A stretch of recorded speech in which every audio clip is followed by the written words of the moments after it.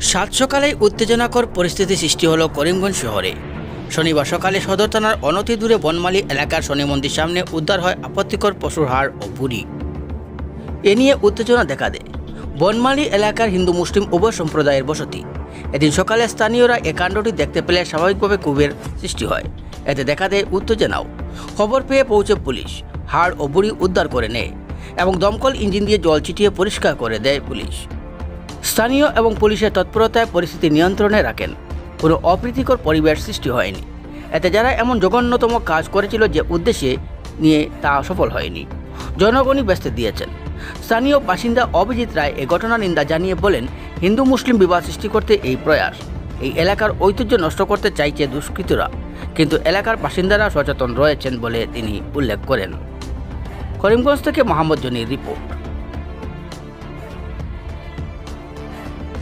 আজকে একটু দেরি হয়েছিল ঘণ্টা রিসিভ করছি একটু দেরিতে আইয়া যা দেখলাম আর জানলাম এটা অত্যন্ত দুঃখজনক ঘটনা যে আমরা মন্দিরটা অত্যন্ত জাগ্রত মন্দির এই মন্দির ইতিমধ্যে বিরাট সারা জায়গাইছে পাড়ার সমস্ত ছেলেমেয়েরা এখানে আইয়া পূজা দেয় দৈনন্দিন এই প্রতি শনিবারে এই যে ব্যবস্থা, এই ব্যবস্থা দেখিয়া কেউ নিশ্চয় এই বিনধর্মী কোনো লোক এই কাজটা করছে।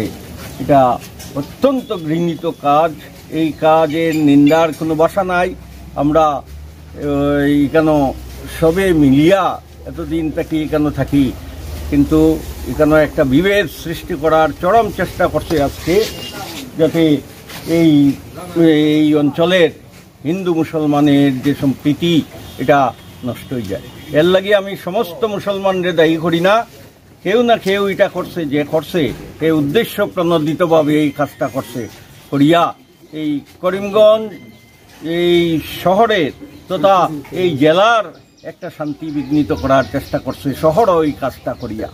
তো মানুষ সবে ধিক্ষারদের সবে নিন্দা করে, এই আর অপরাধীরা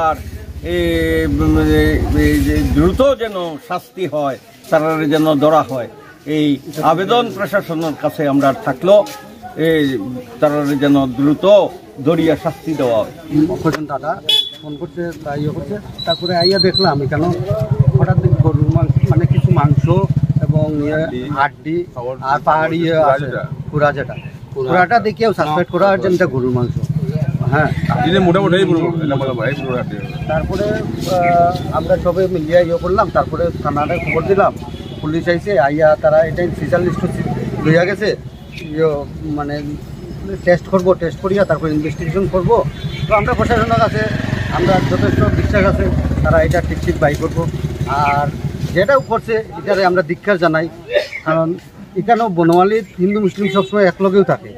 তবে কিছু বাইরের মানুষ আইয়া এগুলা ফালাইতে পারে। তো এর লাগে আমরা এটারে ধিক্ষার জানাই জিনিসটা যাতে, আর এখানে বনমান মানুষ যথেষ্ট শান্তিপূর্ণ, এর লাগে সেখানে আমরা কোনো কেওস বা কিছু হয়তো সবাই